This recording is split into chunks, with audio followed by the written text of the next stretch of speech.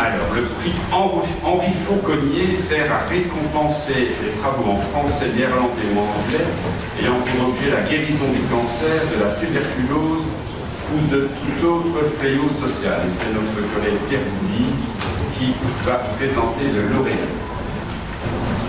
Merci, Monsieur le Président. Je vais d'ici, comme ça, ça permet de régler quelques problèmes techniques. Alors, le lauréat est le professeur Jean-François Collet. Il a 41 ans, il est bio-ingénieur diplômé de l'UCN. Il a effectué un doctorat dans le laboratoire du professeur Denis Pascal en biochimie. Il travaillait sur la voie de synthèse de la série. Il a découvert une nouvelle phosphorylase qui, qui s'est avec le premier membre d'une très grande, en, réalité la plus grande famille de ces enzymes, avec un mécanisme d'action nouveau. En 2001, il part aux États-Unis à l'Université de Michigan dans le laboratoire du professeur James Cardwell qui étudie le repliement des protéines. Et c'est dans ce laboratoire qu'il va commencer à travailler sur ce sujet dans des bactéries. En réalité, vous avez dans, dans le périplasme bactérien. Il revient après à peu près 4 ans. En 2005, il est nommé chercheur qualifié du FNRS. Il a un groupe de recherche J'aimerais, c'est formidable de vous rapidement. Il a un groupe de recherche à l'Institut de Lille il est professeur de biochimie. C'est un chercheur très intelligent, charismatique, toujours souriant, extrêmement enthousiaste et qui entraîne les jeunes euh, derrière lui. Euh, vous aurez certainement beaucoup de plaisir à l'écouter aujourd'hui. Merci Monsieur Coulis. voilà Monsieur Collet, entraînez-nous et nous allons tous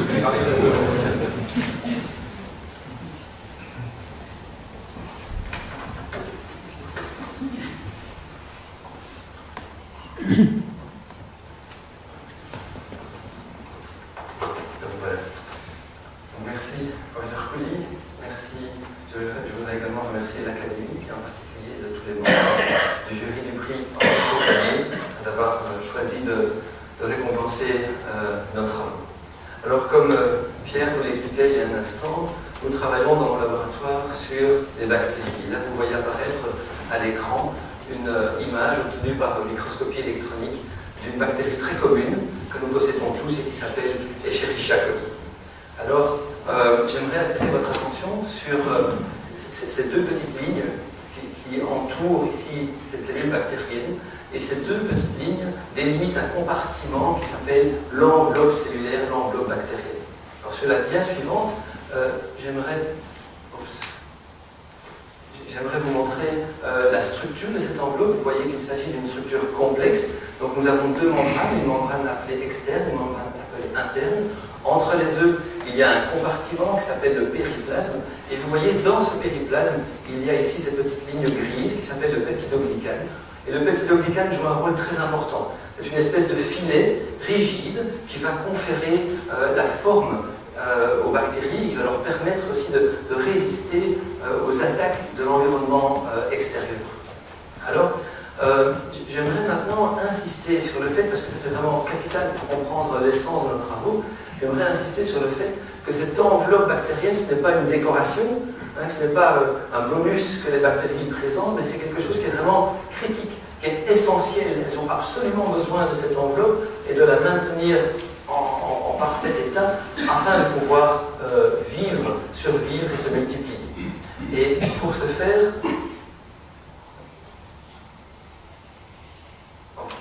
Donc, euh, pour ce faire, je vais vous montrer ici le, résultat d'une petite expérience. Donc, euh, je vais vous montrer ce qui se passe quand on traite les bactéries avec un antibiotique très commun. Donc l'ampicilline, c'est un peu semblable à la pénicilline. Donc c'est euh, une famille d'antibiotiques utilisés très fréquemment en médecine. Et ces antibiotiques-là ont la propriété de cibler spécifiquement des protéines qui permettent d'assembler ce peptidoglycane. Et donc quand on traite les bactéries avec cet antibiotique, euh, ça va perturber l'assemblage peptidoglycane. Et donc, mon ordinateur est récalcitrant matin, on excuse, voilà, il est un petit peu lent, il a du mal à se réveiller. Et donc quand on traite les bactéries avec cet antibiotique, ça va provoquer l'apparition de trous dans ce peptidoglycane et ça va provoquer la lyse, c'est-à-dire la, mort des bactéries. C'est ce que vous allez voir sur le petit film ici. Donc euh, voilà, le petit film est en train de se, dérouler. Et, tout d'un coup, il était trop je m'excuse. On devrait normalement voir les bactéries.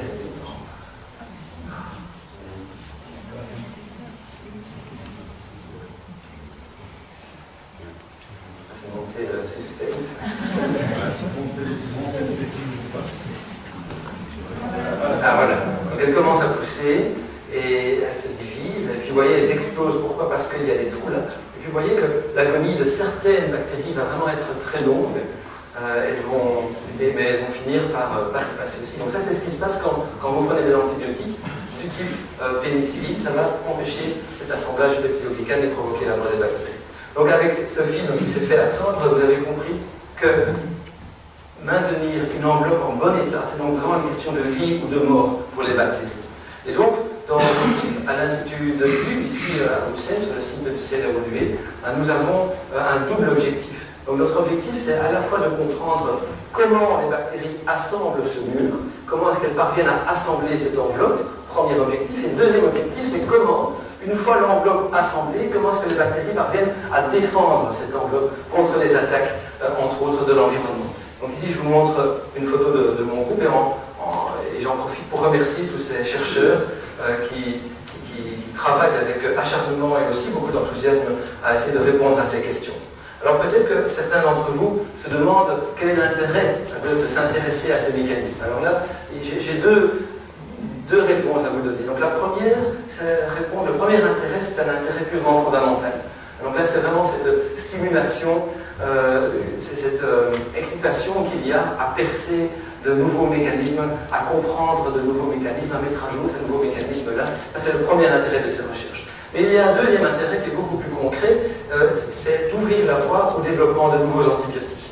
Alors ici, là, je mets toute une série d'articles de journaux qui ont été publiés il y a quelques mois, c'était au printemps dernier, quand l'OMS a vraiment tiré la sonnette d'alarme pour dire attention, les bactéries deviennent de plus en plus résistantes aux antibiotiques, ce n'est pas nouveau, mais le phénomène prend de l'ampleur, le nombre d'antibiotiques en développement est en train de diminuer, et donc il n'est pas sûr de penser que dans un futur pas si lointain, on puisse à nouveau évoluer dans un monde euh, semblable au monde pré-antibiotique que l'humanité a connu jusqu'au début du siècle dernier.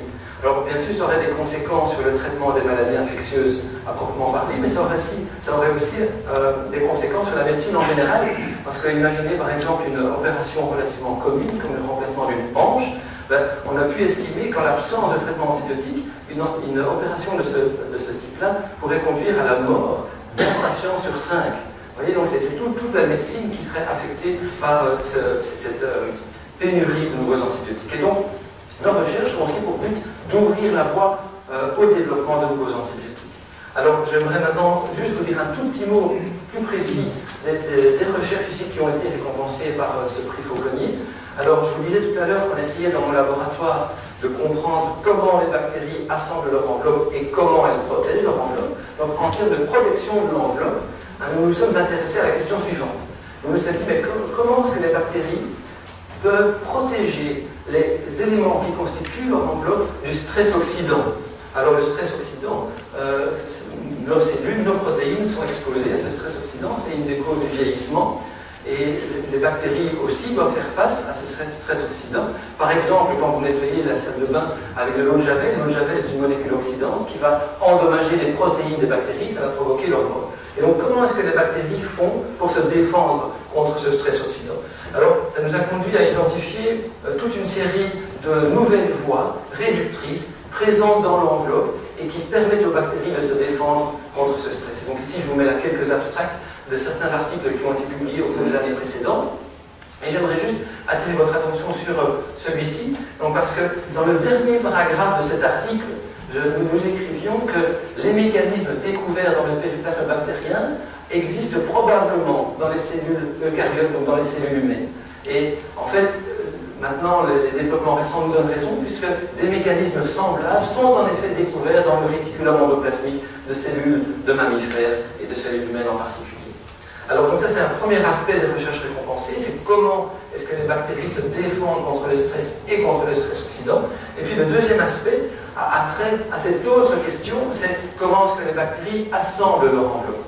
Alors là, je n'ai pas le temps de rentrer dans tous les détails. Hein, si vous essayez de, lire ce titre, c'est un petit peu barbare. Et je vais essayer de vous résumer l'essence de ces recherches. Donc là, ce sont des recherches qu'on a effectuées sur une bactérie pathogène opportuniste qui s'appelle euh, Pseudomonas aeruginosa. cette bactérie cause la mort de millions de personnes euh, dans le monde chaque année, entre autres des patients atteints de mucoviscidose. Et nous nous sommes dit, mais comment est-ce que Pseudomonas aeruginosa fait pour permettre le repliement correct de ces protéines? Et en particulier de ces facteurs de virulence. Alors ici j'ai un petit dessin très simple. Vous voyez en bleu une cellule humaine, vous avez en rouge une cellule de bactérie, donc ici en l'occurrence une cellule de Pseudomonas aeruginosa. Or cette bactérie, quand elle s'attaque à des cellules humaines, elle a plusieurs façons de faire, mais entre autres, elle va sécréter toute une série de facteurs de virulence. Alors ces facteurs de virulence sont des, protéines qui sont un petit peu comme des grenades, si vous voulez, que la bactérie envoie, et qui vont essayer d'endommager euh, les cellules humaines euh, avoisinantes. Donc c'est ce que je montre ici. Ah, il a un problème.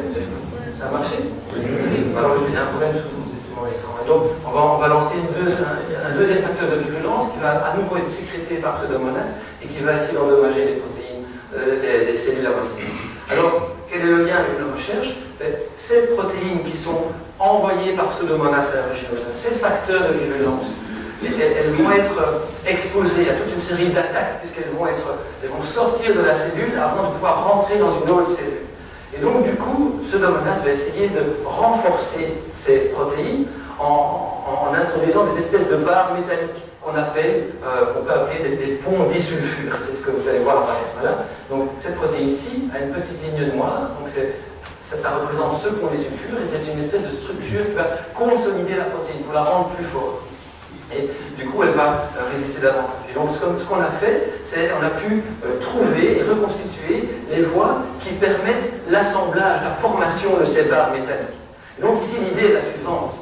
Une fois qu'on a trouvé quelle était l'usine qui permettait d'assembler ces barres métalliques, ben, on peut cibler cette usine, on peut cibler les protéines impliquées pour empêcher pseudomonas de, de renforcer la structure de ces protéines. Donc, c'est une, une, quelque sorte, ça, nous permet de désarmer ce domaine. C'est à l'heure où je vous parle, j'ai une collègue chimiste en Australie qui utilise en partie nos résultats pour essayer de trouver des molécules qui ciblent, qui inhibent les protéines qu'on a caractérisées, qu'on a identifiées, pour essayer de désarmer euh, domaine. Et donc, je terminerai euh, là-dessus avec euh, cette diacie. Donc, la, devise de l'Institut de Dieu, c'est de mieux comprendre pour mieux guérir.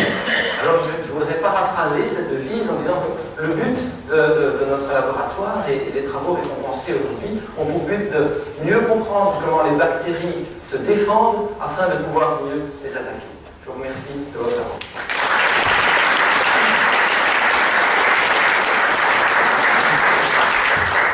Merci, Monsieur Collet. Félicitations. Vous êtes de nous pour recevoir votre diplôme.